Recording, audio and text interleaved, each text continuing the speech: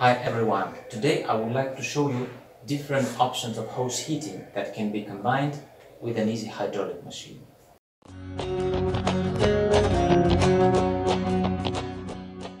As you know, Easy Hydraulic is a portable single-phase machine, so the heating is quite limited. However, we have three options of hose heating available depending on your needs. Option 1. A machine with a built-in hose transformer combined with a special 20 meter single-phase heated hose with automatic temperature control. This option is offered by default as this is the most convenient and portable solution if you do not need longer hose because it is not extendable. This combination is also supplied with a short half meter non-heated hoses for sensor installation and better flexibility.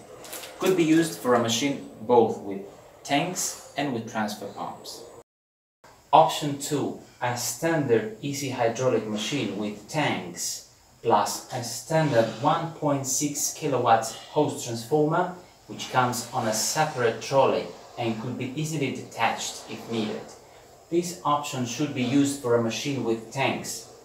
However, with three-way valves, you can connect transfer pumps as well. This combination can heat up to 48 meters.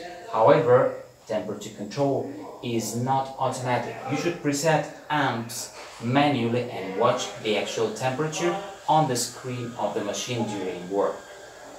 Option 3. A standard 1.6 kilowatt hose transformer located behind the electrical box for a better portability. This option serves only for machines that will work with transfer pumps as the transformer is located in the place of tanks.